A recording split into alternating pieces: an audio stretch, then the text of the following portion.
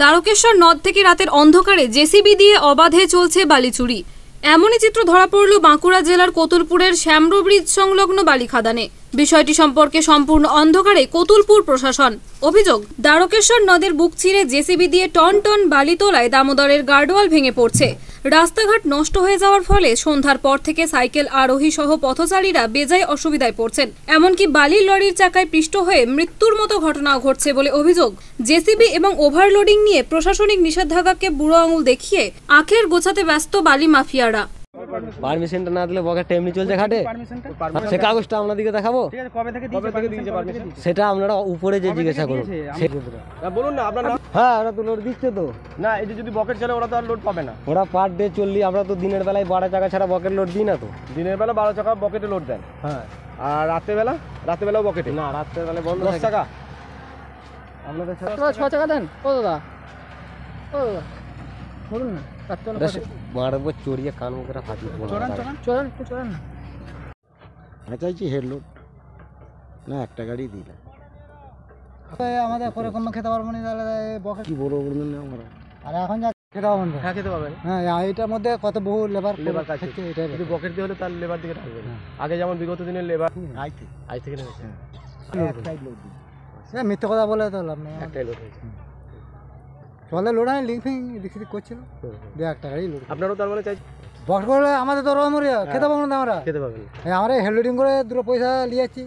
হ্যাঁ ছেলে মেয়ে সংসার চলবে। হ্যাঁ সংসার চলছে। হুম তাহলে এইসব ব্যাপার। আপনাদের এখানে এই ওই কলা গ্রাম বাস হই না দিকে পাশে লেবার।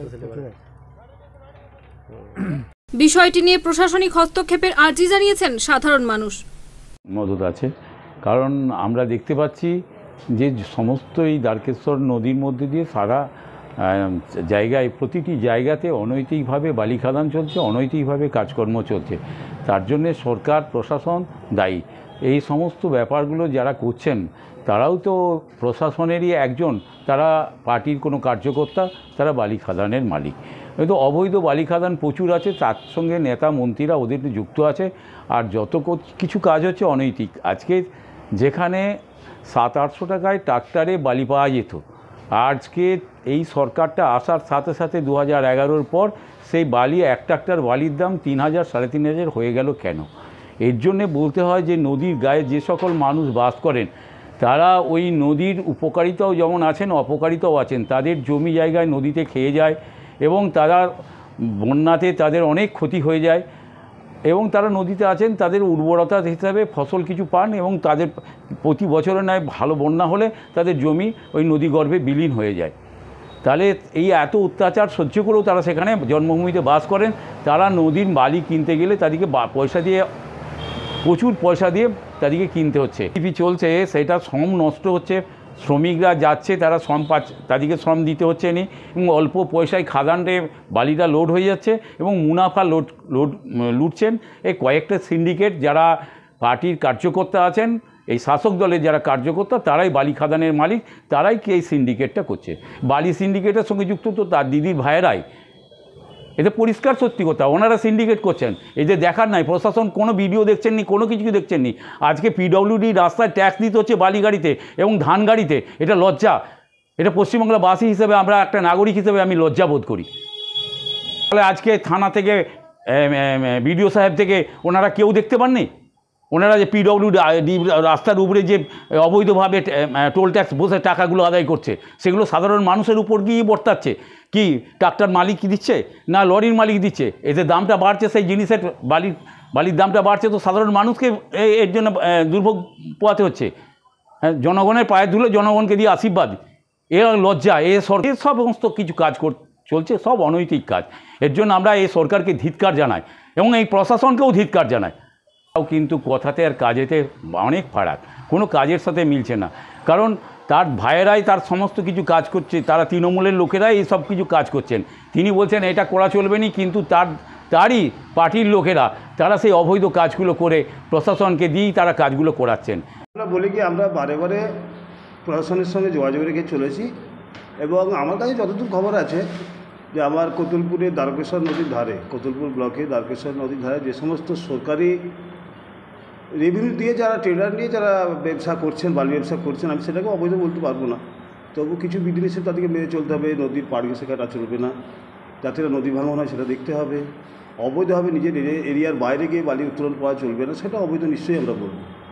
কিন্তু আমি যতদূর আমরা লক্ষ্য করেছি, মাঝে মধ্যে কিছু বিশৃঙ্খলা হলেও আমরা লক্ষ্য করেছি, বেশ কিছুদিন যাবৎ অনেক খাদানি বন্ধ আছে, কারণ তাদের চালান বা পারমিশন থাকেনি, শেষ হয়ে গেছে। শুনতে পাচ্ছি কিছুদিন যাবৎ এই দু একটা আবার নাকি দু তিন মাস এক্সটেনশান হচ্ছে বালি খাদানগুলো তো সেভাবে এখনও বালিকাটা শুরু হয়েছে বলে আমার কাছে খবর নেই। তবে বুকের দিয়ে বালিকাটার ব্যাপারে আমরা ঘোরতর বিরোধী, বিষয়টা তো আর আমাদের ব্যাপার নয়, প্রশাসনিক ব্যাপার। আমরা এ ব্যাপারে প্রশাসনের কর্তা ব্যক্তি হিসাবে, ওসি সাহেব, বিরোধ সাহেবের সঙ্গে বিগত দিনে আমরা কথা বলেছি। আপনারা বলছেন, আমরা খোঁজখবর নিয়ে দেখব কি হচ্ছে। নিশ্চয়ই যদি অবৈধভাবে বালি উত্তোলন করে আমরা তার মানে কি বলব সর্বাংশ তার বিরোধিতা করব। মানে জানিয়েছি, কথা বলেছি আমাদের জেলা সভাপতি এমএলএ সাহেবের সঙ্গে কথা বলেছি এই বিষয়ে। তারাও কিন্তু বলেছেন যে প্রশাসনের সঙ্গে কথা বলে যাতে অবৈধ কর্ম কোনো কিছু না হয়, নদী ভাঙন না হয় সে ব্যাপারে সর্বভাবে লক্ষ্য রাখতে হবে।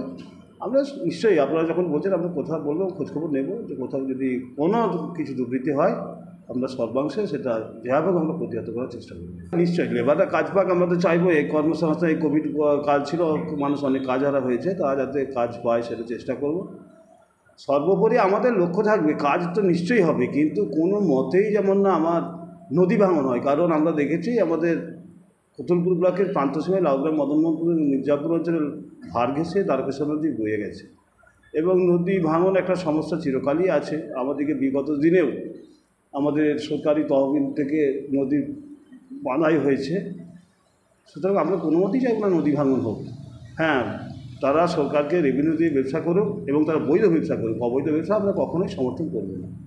আচ্ছা অনেকের আবার দেখা যাচ্ছে যে ল্যান্ড ডিমার্কেট এখন অনেক সময় কি আমার তো কতুলপুর মৌজার মধ্যে সবটা নয়। এখানে ইন্দাস মৌজাও আছে এবং দেখা যাবে আমাদের কতুলপুরের উত্তর দিকে দ্বারকেশ্বর নদী। কিন্তু ইন্দাস মৌজা আর ইন্দাস ব্লকের মধ্যে দেখা যাবে আমার নদী পেরিয়ে আবার উত্তর দিকেও চলে আসছে। এখন সবটা আমার ব্লকের মধ্যে নয় সেই জায়গায় আমি কোথাও বলতে পারি না। আছে যে সীমানাগুলো, সেগুলো নিশ্চয়ই আমরা লক্ষ্য রাখব। আমার কতুলপুরে খাত চালু আছে। চারটে খাত এখন এক্সপায়ারি পার হয়নি, তারা চালু আছে। তার মধ্যে সব ঘাটে এখন ট্রাক্টর লোড হয় এবং লেবার দিয়েই লোড হয়।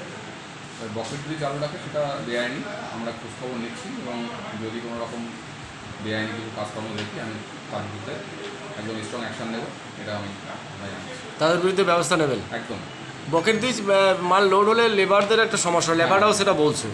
লেবার দিয়ে হ্যাঁ লেবার নিয়ে যেহেতু লেবার দিয়ে একটা সমস্যা আছেই তাই বলে পকেট চালাবে এটা তো আমাদের কারও রিটার্ন পারমিশন কেউ দেয়নি। সেহেতু আমরা এই বিষয়টা দেখে নিচ্ছি এবং কোনো রকম বেআইনি কাজ দেখলে তার বিরুদ্ধে আমরা আইনগত ব্যবস্থা বাঁকুড়া থেকে সৈয়দ মফিজুল হোদার রিপোর্ট আনন্দ বার্তা